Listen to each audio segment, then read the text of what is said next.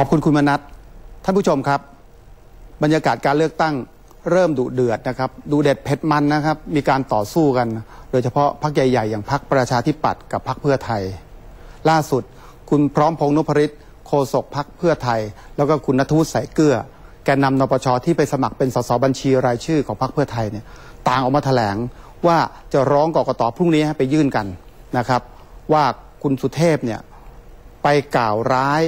นะครับ คุณยิ่งลักษณ์ชินวัตรสสบัญชีรายชื่อหมายเลขหนึ่งของพรรคเพื่อไทยเนี่ยครับ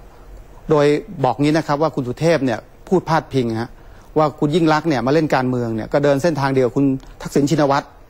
นั่นก็คือพอได้ประโยชน์กำไรจากธุรกิจแล้วเนี่ยนะเมื่อมีโอกาสทางการเมือง ก็มาฉกฉวยโอกาสทางการเมืองต่อ พอพูดอย่างนี้เสร็จนะครับ คุณยิ่งรักษณ์แน่นอนครับ ย่อมต้องอึดอัดนะครับ ไม่สบายใจ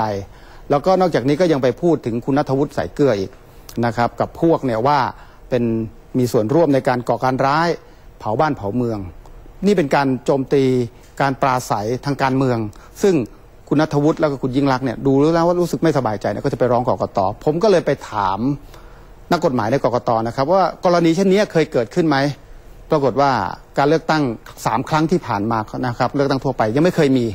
นะครับนี่ครั้งที่สี่แต่ว่า การเลือกตั้งท้องถิ่นเคยมีกันแล้วครับ โจมตีกันอย่างนี้นะครับ แล้วก็ฟ้องหมิ่น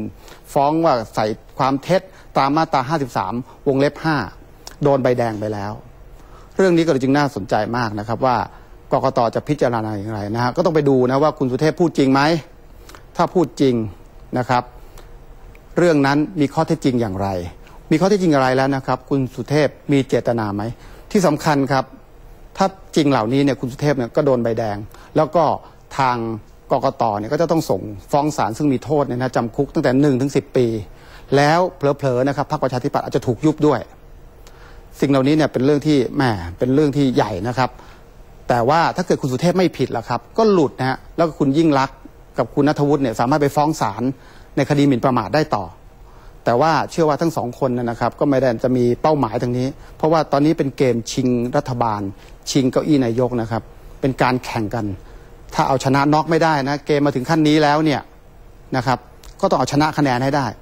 ถ้าชนะคะแนนไม่ได้แม่ตอนนี้นะครับ ชนะฟาวก็ยังดีครับ สวัสดีครับ